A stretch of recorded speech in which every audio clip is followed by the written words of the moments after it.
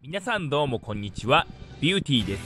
今回はブラッククローバーカルテットナイツのファミ通紹介をしていきたいと思います。本作の概要は4人1組でチームを組んでアンチ魔法風魔法闇魔法鏡魔法といった各キャラクターが持つ魔法を駆使して戦う魔法バトルアクションゲームです。ルールの一つエリア制圧戦では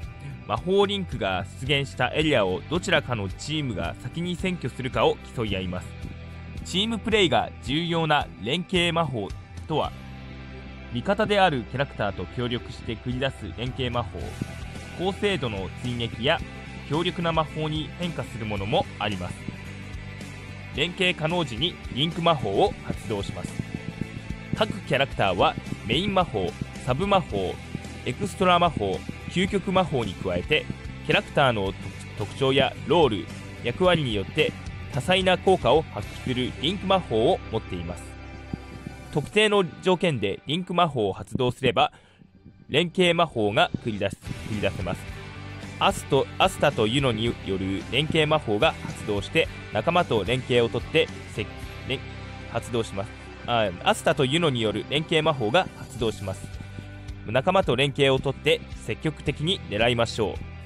う。まああの今アニメアニメでもアニメでも放送されてるやつですね。まあそれがゲームになったやつですかね。えっ、ー、といつ発売予定になるかは分かっていませんがまあ楽し魔法を使ったバトルアクションになりそうですね。まあフェアリーテイルとはまた違った作品になっていますのでまあスタジオピエロのファンタジーということでちょっと珍しい作品にはなっていますね。まあちょっとローファンタジーというので劣化の炎というのがあってですあってですね。